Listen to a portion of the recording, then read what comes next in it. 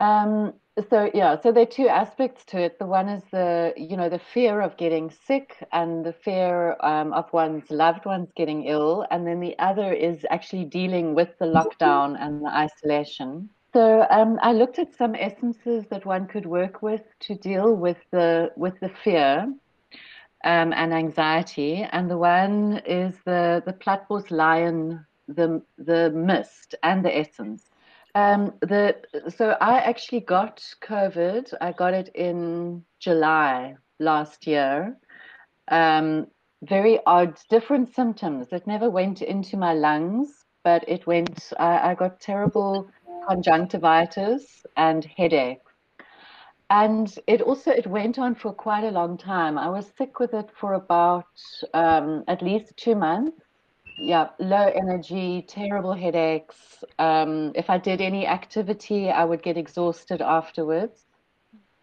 And I read about what they call the the long, what is it, the long haulers, who can have um, the effects of this energy energyless and not feeling well for months and months and months.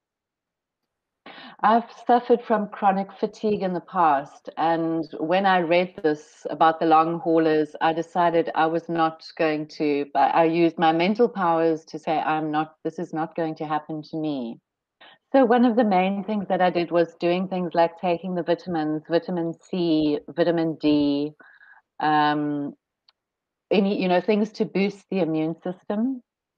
And I also turned to our medicinal, the natural medicinal plants growing here. One of them is called the cancer bush. And I drank this three times a day. I made a tea and I drank it three times a day. And I'm, I'm sure that this is what actually got me better again.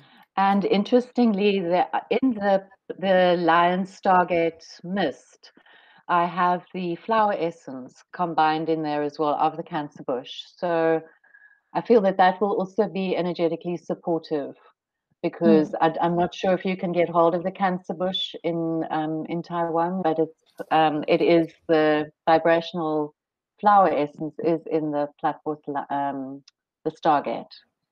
But I think the main thing is dealing with one's anxiety and fears, and especially your thoughts, because that is um, that for me is the, the, the most important thing is that you don't go into fear. And then so the other essences that one could work with would be the white stinkwood um, because this essence really helps us with fears uh, with transitions things around death change um, transformation transitioning.